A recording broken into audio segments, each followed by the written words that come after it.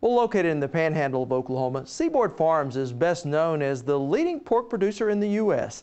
And now they're cutting the fat and turning it into high-grade biodiesel. Our Lisa Hines was there as they turned on the tap. All right, this plant is now officially open.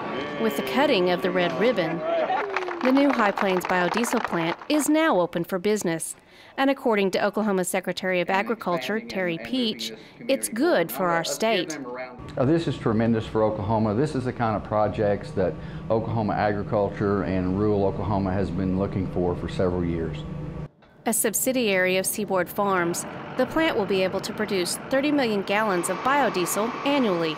And according to Seaboard Foods President Rod Brenneman, this will add value to Seaboard's pork processing. What it's going to do is not only um, produce renewable energy, which obviously is one of our commitments in business, but it's also going to hopefully add to our bottom line. I mean, we certainly do this for economic reasons as well as renewable energy reasons. It will also be good for the panhandle area.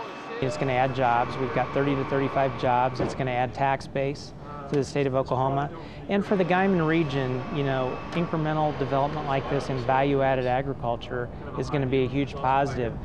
Using a state-of-the-art process, they produce biodiesel from animal fat, about a pound of pig fat to make a gallon of fuel.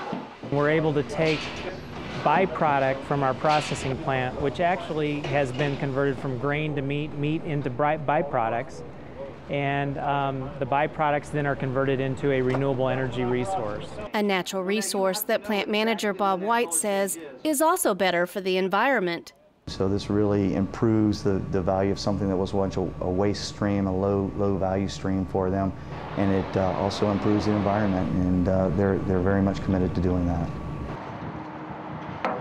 This product that we come out of this plant uh, is able to be able to burn in any, any vehicle, that's, any diesel vehicle that's on the road today.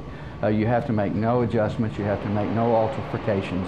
If you have a diesel engine, you can burn biodiesel.